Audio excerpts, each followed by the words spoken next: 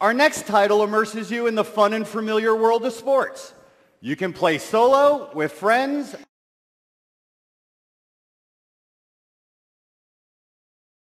or go head-to-head in six major events. To show off Kinect Sports, let me introduce Shin from Rare Studios. Shin?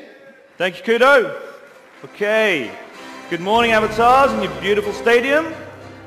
Let's get you warmed up first. Right. How are we doing here? A little groggy first thing. Here you go. Nice. Couple of waves here. Very good. And let's get everyone going with some fireworks. One, two, three, go! Yeah, we love it. Okay. Now, if you want to know what it feels like to be a sports god, watch this. Oh, yeah! Thank you. Thank you. Please, sit down, sit down. Give me more love. Thank you. Ah, love it, love it, love it. Right. Japan just won the World Cup. Yeah, baby, yeah. Thank you. Okay. Oh, you love me. Right. I'm going to get Jen to come up. We're going to do some hurdles for you. Jen, you ready?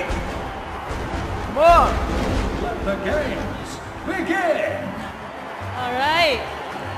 Hope you're ready for this. I warn you, I am These awesome athletes are at at the this. top of their game. Okay. You're gonna get a good feel with my back. Oh, All right. Right. You ready? Oh, 1750 is the time to beat.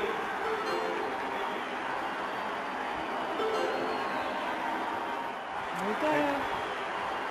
No problem, you guys. Just tons of people watching. Take your time. Okay. It's all right. Feeling a little nervous go. there. Here we go. All right. Out of the block by Coral Springs. See ya. Keep this placement and a medal is in the bag. How's my back look? Stretch time to. Oh no! Ah, got it! Oh! Close one. that was close so one. close.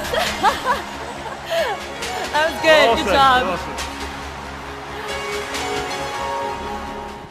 All right, great race, you two.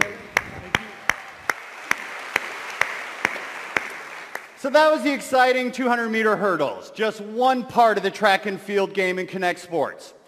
Kinect Sports is the first sports title to truly put you in the game.